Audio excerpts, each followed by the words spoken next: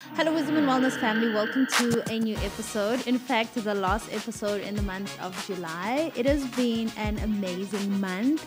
Um, so many incredible things have happened, and you know, in my hearts of hearts, I'm genuinely grateful. And if this is how we're starting the second half of the year, then look, I am here for it. Uh, firstly, thank you to all of you. We have reached 1 million downloads on podcast, not on YouTube or anything else, but just on audio podcast. That for me is a milestone and a half, knowing that podcasts are fairly new in the South African market. And like when we started, I've mentioned this, a lot of people didn't even know what podcasts are. And to have come to a point where we've reached a million downloads, that is a milestone I didn't even know to think of. But when my husband sent me that we're there, I just got excited. And also, literally from in about a month's time we've got our best-selling course speak live september. You guys are out here in my dms in my emails asking Mpumi, when can we find out? How much is the price? All i have to say is that you have to join our mail list so that you can know as soon as it launches Best believe me, it is going to sell out. It sells out every year, not because of anything else, but the testimonies and how much it changes so many people's lives, including mine.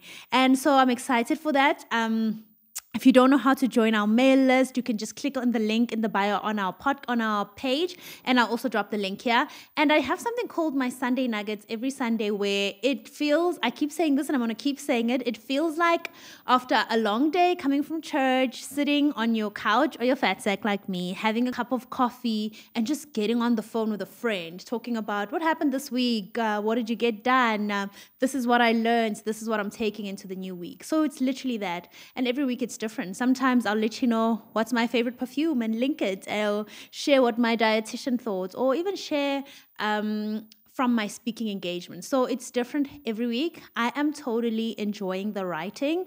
I'm enjoying how personal I can get and how safe the space is. I mean, I used to share a lot on social media and on Instagram, but you just kind of learn that certain platforms aren't as welcoming for certain things. So I think I'm I love being a vulnerable person. I think vulnerability does something for all of us and I just had to find the right platform. And right now our emails are exactly that. So yeah, you'll know when we launch um, Speak Live September when it goes on sale. Um, yes, we are covering um, our neighboring countries. So, yes, you can be a part of that. And like I said, our email list is completely free and open to absolutely anyone. So, in today's podcast, um, oh, yeah, and I must mention that for people who are finding out, well, why should I join Speak Live September? Who is Speak Live September for? Um, and for me, it's very, very personal. That's why I do it every year. But if you feel like you need to, to advance to the next level in your growth, it's very important to know that growth never stops. The day we stop growing is the day we start dying. So in Speak Live September, we look at our growth in a unique way and how it relates to you.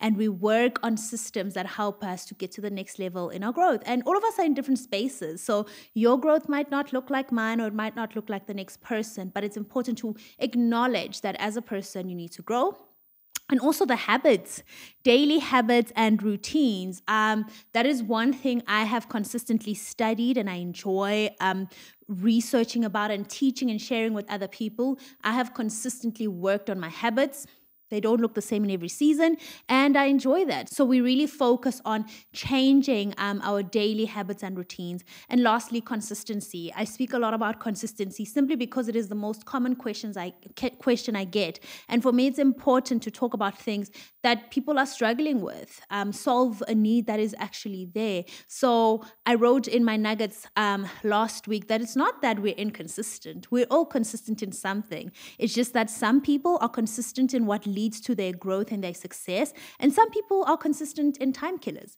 So some might argue you're consistently on your phone as soon as you wake up in the morning. That is consistency. Is it yielding good results? We don't know. Or you consistently reading books that are good for you. That is consistent, consistent, but it's probably consistent that is good for you. So those are some things you can expect. Um, this year is the healing edition based on based on my own personal journey with healing. And like I said, I am all for vulnerability. I share it all, but it's important to choose where um, you are vulnerable. So this week we are doing a little Q and A. Um, I don't, I haven't, I asked you guys to send some questions on Instagram, and I will be answering them here. I can't answer all of them because it's quite a lot, but I'll answer the ones that come up um, uh, quite often and are very similar. And yeah, let's go for it. So, this one to give context, I had mentioned that we, when we started the podcast, our laptop got stolen the day after, and I wanted to quit. It felt like maybe this is a sign I shouldn't be doing this. But we didn't quit. We started over and we continued. So, this question is you put in the work, invested so much, and your laptop was stolen. Please go deep. How do you feel then? How did you feel then and now? Um, like I mentioned, it felt like wow, am I even supposed to be doing this? I felt very discouraged. I felt like maybe let me just continue with what I'm doing. We've wasted money, we've wasted time, I've wasted other people's time as well. What now? And I think for that day, we sulked, we mourned. Um, and then the next day or two, we decided, you know what, actually, um, perhaps the reason why I'm getting so many distractions is that this thing is important. So we're going to start where we were and we also didn't go high high end like we had started out. We started with what we had and we continued. I it was really heartbreaking at the time. Um, it felt it felt unfair. But right now i look back and i realize that maybe some of those conversations weren't meant to be there. Um, also i was we learned how to file our work better like we created systems uh, because everything was kind of random so it's taught us how to respect the business and how we store things in our business so there was a lot of lessons um, that i took from there I know this is broad, but how different is it from YouTube? What basic equipment does one need on podcast? So, YouTube and podcast is very different platforms but it's also up to you. I think you kind of get to choose the platform and how you use it. But podcast is more relaxed and more conversational. Um, it's you need to think of podcasts as people sitting in their cars and what do they want to listen to, right? And so what's important with podcasting is your sound. That is the number one important thing when it comes to your podcast is do I have good sound? With YouTube, it's understanding your niche, understanding who you're talking to, and also it's very visual. It doesn't necessarily mean it has to be aesthetically pleasing, but it shouldn't bother the eye. We always say when we upgrading our equipment, it's not that people can notice and say, ah, you got new this, but it's so that the the the the, the, the quality is so good that no one has to fuss about it. They can actually focus on the content. To date, what book besides the Bible has impacted you the most and transformed your life? Sure, so many books have impacted my life and transformed my life in different ways. But currently in this season, it's Disruptive Thinking by TD Jakes. We recently reviewed it um, on our memberships. By the way, for those asking on membership, there's a join button um, on YouTube where you can click. Um, there's two packages. The 149 Rand package uh, gives you access to full um, podcast videos as well as the live reviews of books we have every month. Um, so it's disruptive thinking by TD Jakes. That for me opened up a whole new world. Um, it made me understand myself as a disruptor and understand the people around me and the roles they play. And then secondly, who moved my cheese? Very simple, simple book with very practical advice. If you're not a reader, I recommend you start with this. I would start with it. It took me about two hours. I was in a flight. I finished it in a two-hour flight, and my mind was blown. And it's one of those books I know I'm going to continue to make reference to. Someone said, Kumnandi Sunday Nuggets. For as long as you find them relevant, please keep sharing. Thank you so much. I am, like I said, I'm enjoying sharing the nuggets. Um, it's very, very personal and it's not forced. And I really believe it's what it's the, it's where God wants me to, to, to, to, to to be right now, one of the things God wants me to participate in. And yeah, you know, I've just become so open. It seems like a small thing, but I know that's how God moves. Like sometimes it's the things that we think are irrelevant or what good does it do or who's going to read a blog. But it's like you give allowance and give space for God to do what he needs to do. How do you balance God with university whilst having bad habits, i.e., smoking?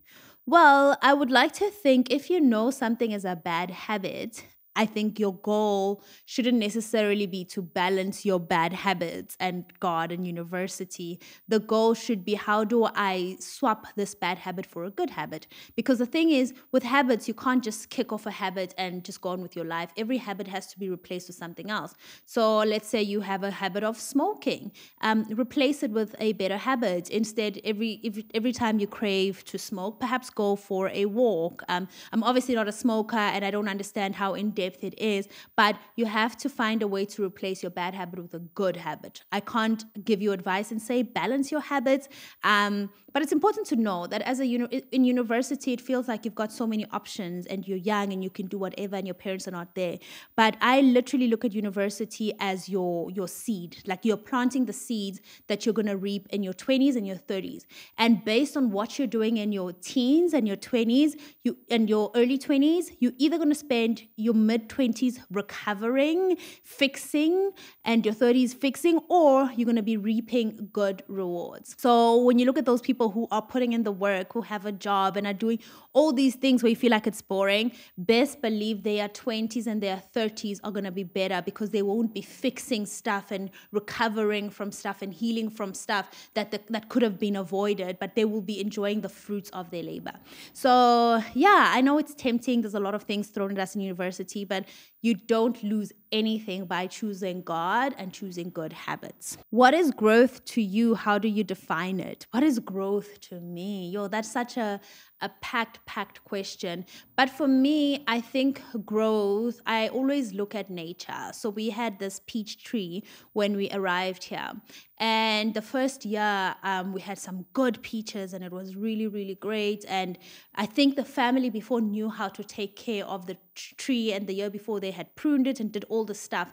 And in the second year, um, our peaches were most of them were rotten and they were falling by the pool and they weren't growing well. And so I told my dad, I'm like, mm, I don't think this tree is happy. Like the peaches aren't as good as last year. They're not growing as big. And my dad said, Well, you need to prune it you need to cut it and let it grow um, again. And so we did that, and I can already see in the way that the tree is growing that the fruits it's going to produce are going to be better than the previous year when we didn't prune it. So the reason why it grew so well in the first year is because the family knew how to take care of it, what the tree needed. We just thought, let nature do its thing.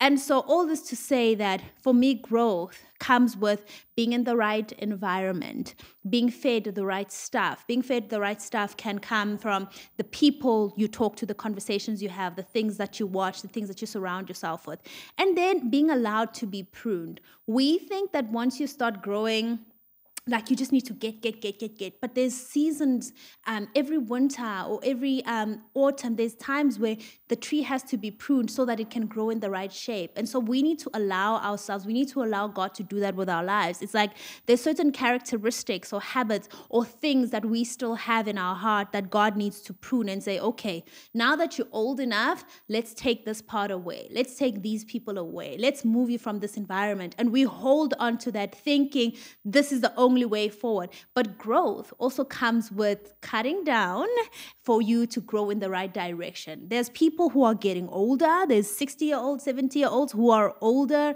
in maybe gray hair and in age and in body, but in terms of wisdom, they've stayed the same. And then there's people who are young and are allowing the progress of life, allowing God to prune them, allowing to be in the right environments, who are wiser than a person who's just stuck in their ways forever. So all this to say, growth for me is is while ensuring that I'm in the right environment, um, also allowing God to do what He needs to do. And our growth doesn't look the same, um, but we allow pruning, you're in the right environment. And also, we can't be, I think in life, you're generally always going to have struggles. But if you're struggling with the same thing every single year, then you're not growing. You're just staying in the same place. They always say you always get the same test in different ways until you pass it.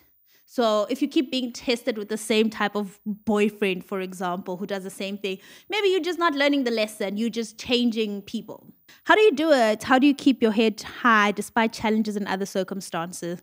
I think for me, it's important to know what I'm working towards. I believe highly in vision, um, not necessarily a vision board, but vision. Like, what is the vision for my life? What is the vision for my family? What is the vision for the for the generations? What is the vision for my children? And what does that require of me? And we were at church, and they were talking to couples. It was a couple seminar, and my pastor said, if you know the vision then you know the price to pay. So, for example, on a flight, there's economy, then there's business, then there's first class. And if you know that you're going for economy, you're gonna just get chicken or beef, right? And you pay the economy price. If you go to business, you know that you get an a la carte menu and you get some leg room and all sorts of things, and the price is higher. And if you go to first class, again, it's all the bells and whistles, but the price is times I don't know how much. So when you know the vision, you understand what it will cost to get there. So when the challenges come and the circumstances come, you say, "Of course, I have a price to pay, a high price to play, to pay, because the vision is so big." So you end up almost welcoming challenges. Like you're like, "Okay, this is stretching me. This is growing me. This is good for my character. I don't enjoy it. It hurts. It sucks. I wish I could take it away, but I know that the vision is so clear that nothing can stop me." And like I said, not all of us have to be on first class. Not all of of us have to be in business. Not all, and some of us have to be in economy. You have to choose the price you're willing to pay for the life that you want to live. Okay, how would you advise someone wanting to start their own podcast? Um, by the way, I have to mention next year we are working on a podcast course. Um, it's going to be an evergreen course. Um, so because I know a lot of people want to get in the podcasting space, and I think there is so much room and so many opportunities. I know for a fact Spotify Africa is doing so much work. They're doing so much groundwork in Africa to create opportunities for the next year. So I encourage you to start one a podcast. One, um, I think have a niche. Understand what you're going to talk about, what your podcast is about. Disclaimer: Not all podcasts have to be interviews. I know a lot of people ask me, "How do I get people to come and interview?" You don't. We don't all have to be interviewers. If that's the goal, then go for it. But you could literally have a podcast by yourself or with a friend. So identify the type of podcast you want to have. Um, understand your niche and then start with the sound. Other people use their phones and then you graduate to microphones and, and start investing in your podcast. And your podcast doesn't have to be video, it can literally be audio. So, but first things first, understand your niche, find other podcasts that are alike and check what they are doing. But like I said, we will we are working on an in-depth course on uh, podcasts so that there can be some sort of support how to solidify one's relationship with God, um, it, it goes back to that habits thing. Um, it's like, think of when you're dating someone. What makes the relationship nice is that every day you're communicating with that person. On Twitter, there's always that conversation or that question of, um, if you're dating someone, do you expect them to call you every day? Of course, I expect you to call me every day because how else am I supposed to get to know you or enjoy your company? So it's the same same thing with God. In order to know the nature of God and to fall in love with God and to appreciate the relationship, you just have to spend time with Him. And it's cultivating that relationship in different ways. Our relationship with God looks so different, but it's important to cultivate an individual individual relationship with God. Hi, how do you keep sticking to your boundaries? For me, boundaries are very, very important. Um, they show respect to myself and respect to the other person. So if I constantly allow others to cross my boundaries after they have been clearly communicated, one, it means I don't respect myself, and two, I don't respect the other, like I just have no respect whatsoever. And respect, I hold respect very high. Um, it's like number one for me. So yeah, boundaries are there to protect everyone, man. If I don't have, and boundaries are not out of I hate you or out of I don't want anyone in my space. Boundaries are that I need this boundary, this protection in my life so that I can be the best person for you. And if someone can't accept that boundary, it means maybe they're not your person. Or maybe they need to go deal with their own boundaries. But if there's no boundaries, like think of boundaries as a not a wall, but a fence. Like a fence is not there to just keep everything out for the rest of the, your life, but you open the gate when necessary for the car to come in, and then you close the gate so that it can protect the house. But if you just leave your house fenceless in a dangerous community, people are going to just come in and go and take what they want and leave what they want and mess up the house. And they just do what they want. But if there's a boundary, a fence, it's like you're careful on who you let into your home. Like we're so careful on who we let into our houses. Um, we're careful on who we give our phones to. You don't just give your phone to anybody. But when it comes to our hearts and our lives, that's where we want to say, okay, come on, everybody, drop off your stuff. No. We need to respect ourselves and respect other people. And when you're respecting of your own boundaries, you respect other people's boundaries. And I think then relationships are healthier. But if the other party can't respect boundaries, it's not going to work. Is it okay to go back to a job or partner when it's not working on the other side? Um, it's never okay to go back to something just because something else is not working. That is using other people and using things. And when you get in that environment, you're not the best you. You're just there because you're closing a void or you're trying to keep busy. And it's not fulfilling for anyone. It's not helpful for you. It's not helpful for the other person. Um, I don't know what context you're speaking in, but um, if you go back to a person, it happens, people break up or they stop things. Make sure that your intentions are clear and you know exactly why and you're aware of what made you leave that place. Because the same thing that made you leave is possibly the same thing that's going to make you leave again. And at the end of the day, you take you everywhere. You take you to that job, you take you to that relationship, you take you to that environment. So, if you're the common thing in every environment, I think it's important to do the work so that whatever space you get into, um, you bring a new you, one who sees better, who's got better perspective, and who can actually make a good use of the environment. Otherwise, you'll be chopping and changing environments, but the problem is not the environments or the people, the problem is you. One of the things I enjoy that drive me crazy about your podcast is the people you choose. How do you choose the people that come into your podcast? Um, for me, it's always important to have an intention for the podcast. It's what am I hoping? What is the takeaway message? So, with every podcast, I'm very deliberate about what I hope people take at the end of every conversation. So, in choosing the people, it's have they lived enough to tell a story um, from a perspective of this is what I learned, or is it from a perspective of I'm still hurting and it's it's, it's almost like it comes from a bitter place? Because while we're still hurting, we can't necessarily um, teach effectively because we're still bleeding, right?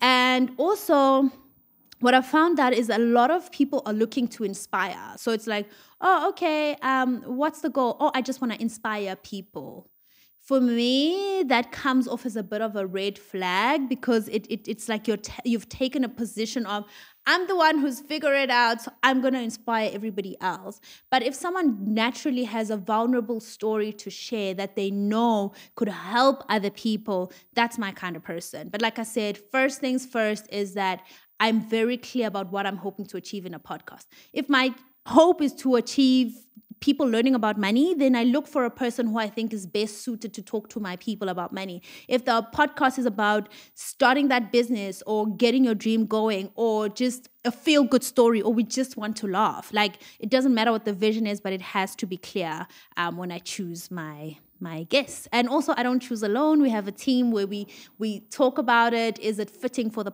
for the podcast? Is it fitting for people? Because I'm not doing the podcast for me. I can go and listen to those people on other platforms, but if I'm bringing them, I'm considerate of all the people who consume um, the podcast. How do you manage your business finances? Got an accountant or it's DIY? Um, it was DIY. I had a little bit of knowledge on finances and I could make decisions.